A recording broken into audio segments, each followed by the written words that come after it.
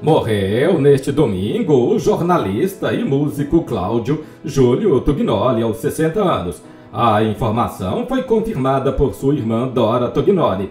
A causa da morte não foi divulgada.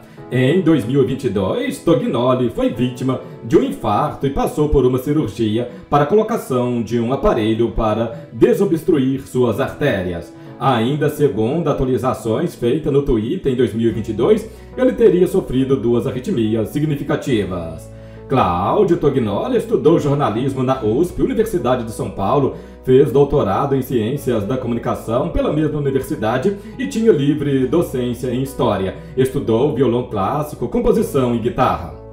Ele nasceu em São Paulo, no bairro Tatuapé, zona leste da capital, e foi um dos fundadores da Abrage, Associação Brasileira de Jornalismo Investigativo. O jornalista também foi um dos idealizadores da Cátedra Otávio Frias Filho, em parceria com o Grupo Folha, instalada no Instituto de Estudos Avançados da USP em 2021.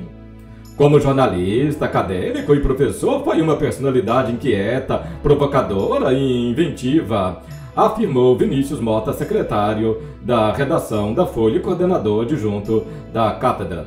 Tognola escreveu para jornais e revistas, com passagens por veículos como Veja, Folha, Estadão, Jornal da Tarde e consultor jurídico. Começou a dar aula de jornalismo em 96 nas Faculdades Integradas Alcântara Machado, FIAM e em 92 na EAC USP. Ao longo de sua carreira, ganhou os prêmios ESSO, Jabuti por O Século do Crime e o Grande Prêmio Folha de Jornalismo. Publicou diversos livros, entre eles Lobão, 50 anos a mil, Bem-vindo ao Inferno, A Fábrica da Genética, Traidores da Pátria, A Sociedade dos Chavões, Mídia, Máfia e Rock and Roll. Eu já tocava guitarra, estudava muito todos os dias. O Paulo me chamou para tocar com ele e montamos uma banda chamada Pif Paf.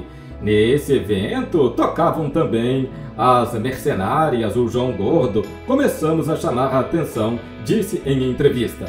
Tognoli deixou a banda antes de ela se tornar o RPM e fazer muito sucesso em todo o país. Como músico, Tognoli teve participação nos primórdios da banda RPM de Paulo Ricardo, uma das mais famosas na década de 80. Em entrevista à revista Trip em 2010, ele contou que fazia parte de uma chapa anarquista que concorreu ao diretório acadêmico do curso de Comunicações e Arte da USP, chamada Os Picaretas, que reuniu famosos como William Bonner, Marcelo Rubens Paiva e o fotógrafo Rui Mendes. Depois de ganhar as eleições, o grupo passou a organizar eventos. Segundo o site Isadora Bertolini, apesar de sua formação musical, o jornalista e professor da Escola de Comunicações e Artes da USP, Cláudio Tognoli, sempre passou longe do jornalismo cultural. Segundo o site, não é à toa que, até hoje, o jornalista é o mais processado do Brasil, fez de sua carreira a investigação de casos policiais e judiciais e possuía também um site consultor jurídico no qual publicava processos na íntegra. Este foi o vídeo de hoje. Fica aqui nossos sentimentos a familiares e amigos. Até o próximo. Estou indo embora, mas você já sabe, eu voltarei.